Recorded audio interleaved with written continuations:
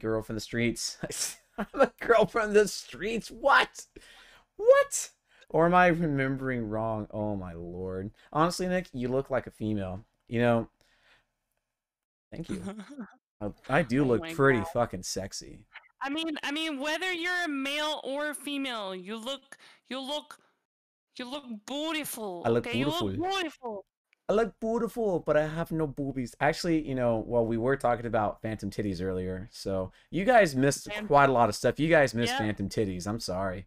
Bro, phantom titties. I'm telling you. We said biddies for the phantom titties. Bro got that estrogen. oh my god.